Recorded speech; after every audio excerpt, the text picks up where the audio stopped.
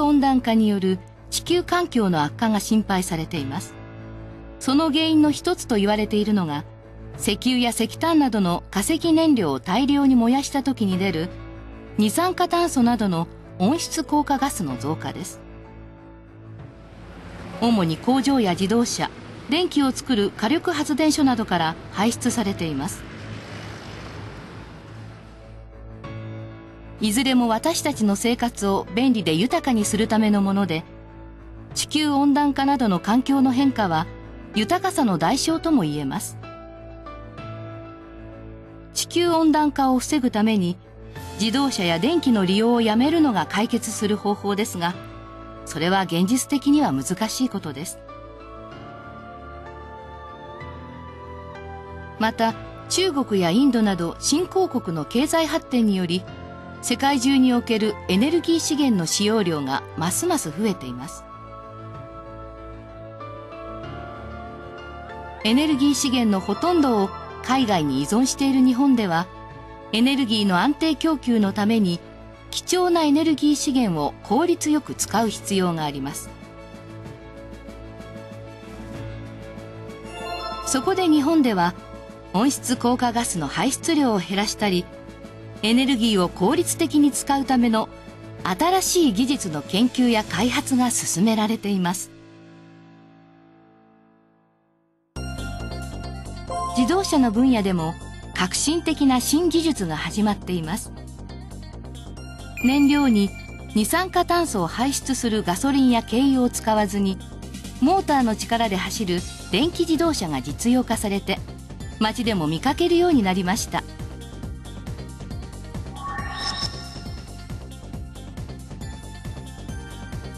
そして次世代のエコカーとして期待されているのが燃料電池自動車です。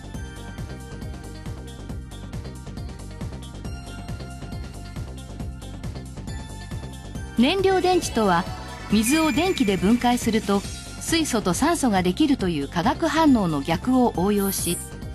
水素と酸素を結合させて電気を作るシステムでその電気でモーターを回して自動車を走らせます。二酸化炭素などの排出ガスを出さない車として注目されています。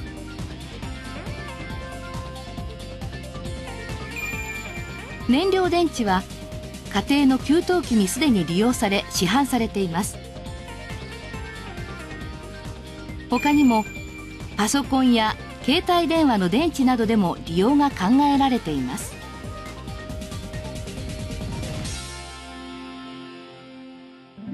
次に太陽光発電の分野。発電時に二酸化炭素を排出しない太陽光発電の普及が進んでいます。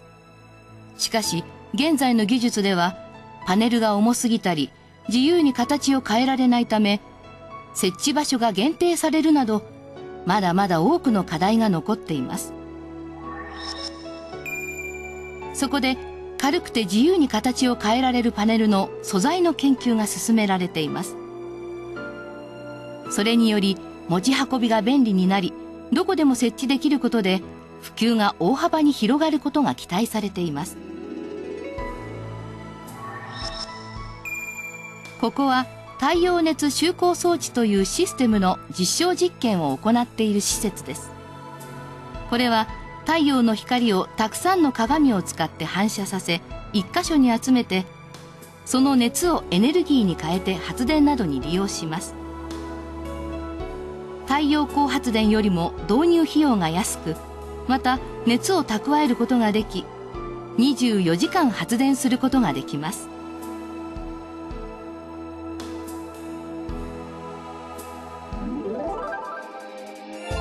火力発電の分野ではどうでしょう？この大きな建物は従来の石炭火力発電とは違う石炭ガス化複合発電という新しい技術を使った実証試験を行っている設備です。石炭火力は石炭を固体や粉末にして燃やして発電しています。この新技術は石炭を蒸し焼きにして一度ガス化してから発電に使いさらに高温の排ガスも発電に利用する方法です。二重の工夫で発電効率を高めると同時に燃焼効率が良いので二酸化炭素の排出量も減らすことができます。この技術はもうすぐ実用化される見通しです。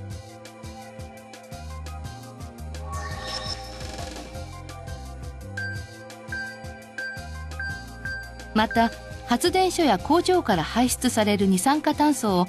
大量に大気中に放出させないで圧力を加えて地中深く送り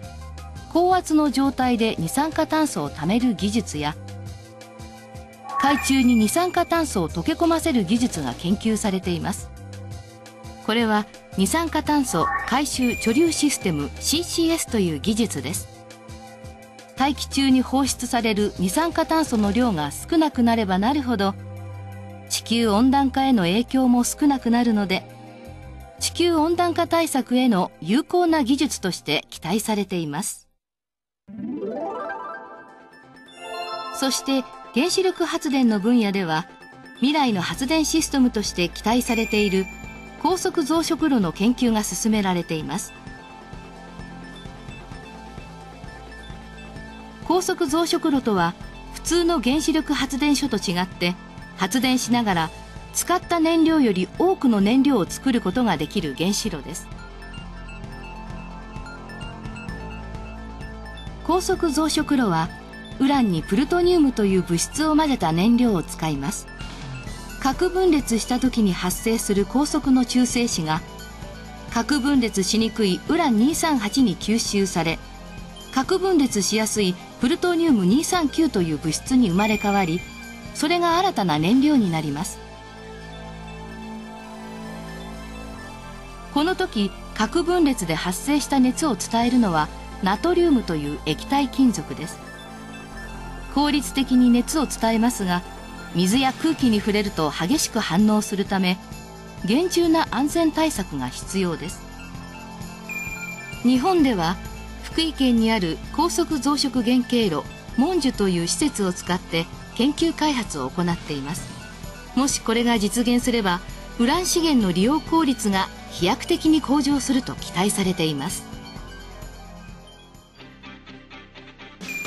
今紹介した新技術の中にはすでに実現しているものもありますがまだまだ研究が必要です。しかし地球環境やエネルギー問題を解決するためには時間がかかっても開発を進める必要があるのです。皆さんが大人になった頃にはきっと実用化されているものも出てくることでしょう。